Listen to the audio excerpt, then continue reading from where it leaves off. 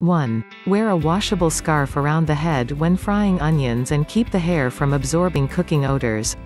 2. To remove fish and cabbage odors from utensils, soak in a vinegar and soda water solution, then wash in sudsy water, rinse and dry.